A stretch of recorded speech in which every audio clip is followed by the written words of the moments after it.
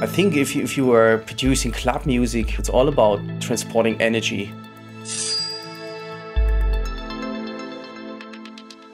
The first track is called Thwack. I really do like to, to work on the border between house and techno, so I always produce uh, stuff which is on one hand pretty gloomy, maybe on dark, but also uh, funky and danceable on the other side.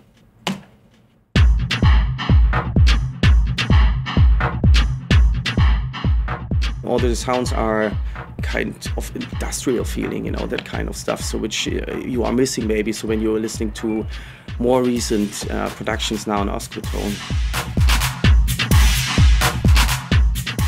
It also marks uh, the starting point of my friendship to Luke Slater, and uh, he he's a hero for me in techno scenes since the early 90s, and I felt so honored. So when he asked me like, okay, should we work out a remix?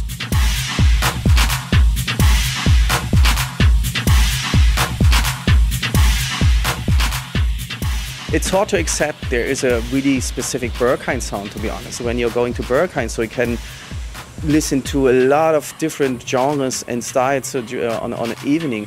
I don't know if you can really put a specific sound in a box and label it, and that's Berghain sound, you know. So, I mean, for me, it's much more than that.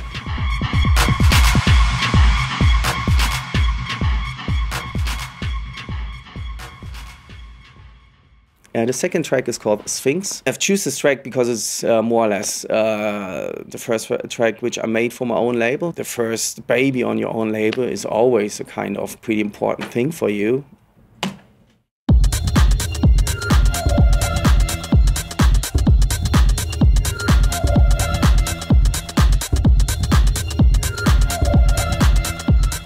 When I moved to the studio, this has had a big impact on me. And sometimes I think like, okay, how I did it in the past, you know? So I mean, in terms of sounds, in terms of how do you feel and experience sound here? You really feel it, you know? So you just then you don't sit in a small chamber, you know, like that. So you can really feel it. You're standing up here, right in front of the speakers. You can dance whatever you want. I couldn't do that in the past.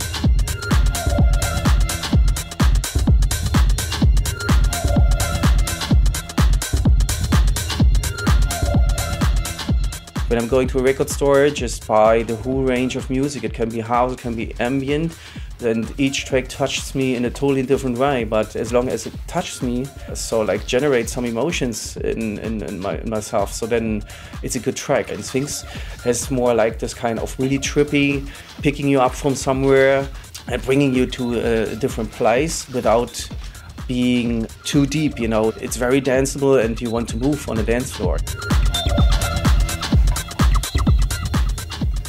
Nobody is saying like techno should sound like a specific one, you know. Nobody's saying these are the rules to make techno, you know. So far, for me, it's get lost in it while uh, letting go, you know, losing control sometimes, you know, that kind of stuff, you know. So, and I want to give away that kind of feeling to the audience as well.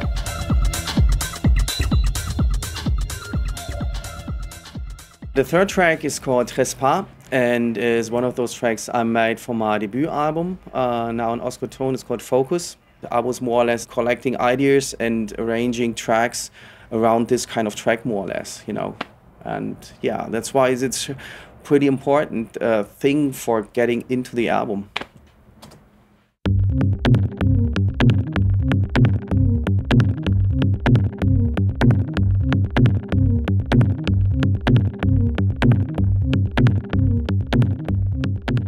Produce an album for me is more or less uh, the most important project. I think what you can give away to somebody else when you are a producer, because uh, this is more like an ID card, you know, of your own creativity.